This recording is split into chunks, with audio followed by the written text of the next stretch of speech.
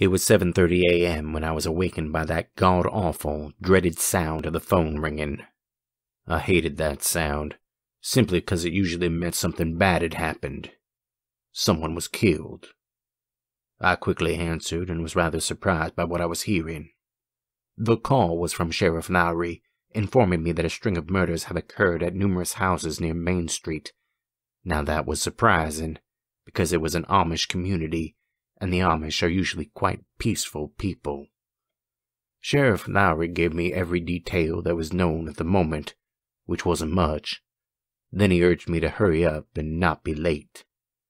I agreed without hesitation.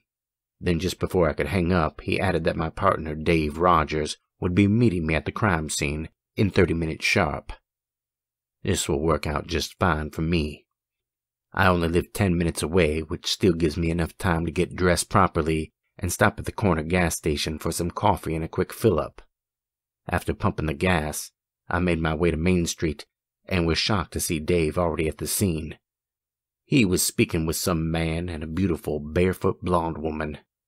Well, you got here fast, I said as he nodded.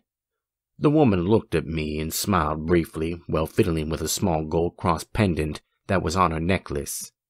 Then she continued speaking to Dave in a mildly flirtatious way. The man glanced at me, then extended his hand, introducing himself as Detective Matt Johnson. Nice to meet you. My name is Bill Landless, I said while shaking his hand.